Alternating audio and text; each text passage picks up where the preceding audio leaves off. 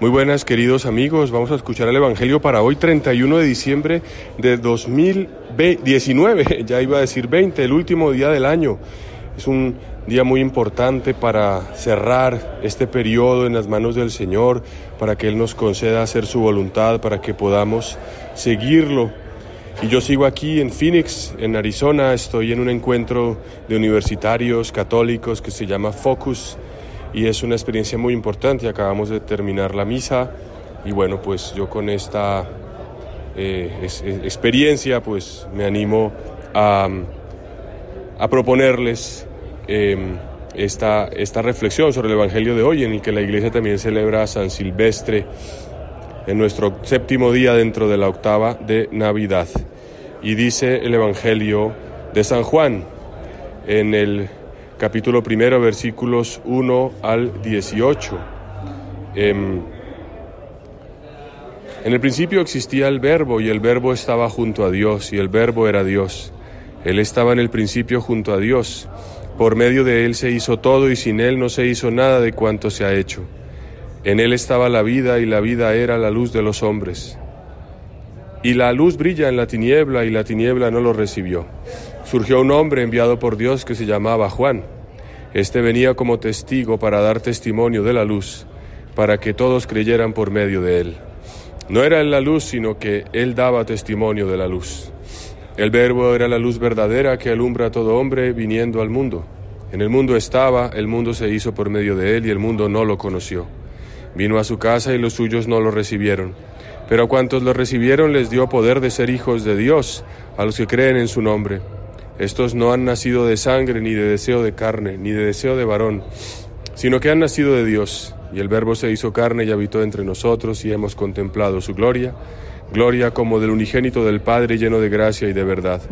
Juan da testimonio de él y grita diciendo, Este es de quien dije, el que viene detrás de mí se ha puesto delante de mí porque existía antes que yo pues de su plenitud todos hemos recibido gracia tras gracia, porque la ley se dio por medio de Moisés, la gracia y la verdad nos han llegado por medio de Jesucristo.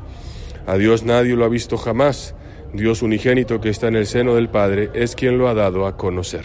Palabra del Señor, gloria a ti, Señor Jesús. Bueno, pues este largo evangelio es importantísimo, es el prólogo de San Juan, que nos dice en el principio existía el verbo, o sea, la palabra. La palabra estaba junto a Dios, la palabra era Dios. La palabra se hizo carne y hemos contemplado su gloria. Es decir, nos está hablando de la palabra, la importancia de la palabra. El Hijo de Dios que está junto al Señor antes de encarnarse se define como la palabra. Es decir, eh, si nosotros somos imagen y semejanza de Dios, significa que la palabra para nosotros también tiene una importancia suma. Somos definidos por la palabra, por lo que decimos, por cómo nos tratamos, por qué tipo de palabras empleamos para referirnos a los demás, a las cosas que nos suceden a nuestra vida. Qué importante sería que al final de este año pensemos en la palabra, que con la palabra alabamos a Dios, con la palabra estimulamos a los demás, con la palabra expresamos nuestros pensamientos, con la palabra podemos construir o destruir, herir o consolar. Pidámosle al Señor que en el día de hoy eh, nos hagamos un propósito, ya al final del año, de usar palabras, de palabras de bendición, palabras de, de gloria. Recordemos que Jesús, Dios hizo el mundo por la palabra, Él dijo, hágase la luz y la luz se hizo, es decir, Él no utilizó recursos, mm, digamos, eh, una materia prima original o algo así, el mundo se hizo por la palabra. Recordemos que cuando Cristo sanaba enfermos lo hacía por la palabra, decía, queda sano, decía, levántate y anda, decía, sal de Él y expulsaba a los demonios, la palabra crea, tiene poder. Digámonos palabras buenas. Dirijamos palabras de amor a los demás, recordemos el valor y la fuerza de la palabra con la que construimos la humanidad, construimos nuestro corazón. Que Dios los bendiga a todos y que nos conceda al Señor un, digamos, un cierre de año maravilloso en su presencia y en la oración. Dios los bendiga.